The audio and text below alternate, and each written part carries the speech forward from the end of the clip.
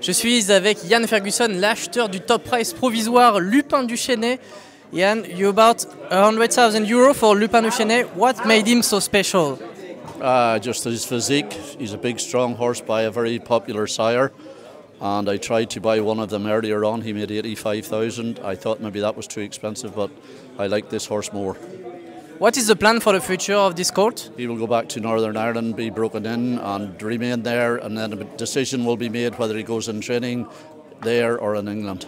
Maybe point to point before or training? Uh, straight? maybe maybe straight training. Yeah, maybe straight training. How about no risk at all? Is it a really popular sire um, in, in your country? And yeah, very hard to buy. Always very hard to buy. yeah, yeah. What made them so so good uh, at, at races? No. Just, this game's full of fashion, and if you're in fashion, and he is fashionable at the minute, so that's that's the way. But uh, the horse himself was a standout horse.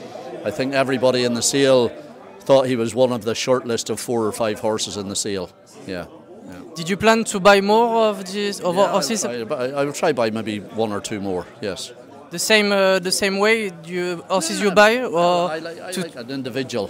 When I see a nice individual, no matter what sire he's by, I like a, a, a proper horse. Yeah, yeah. Thank you. Good luck. Thank you.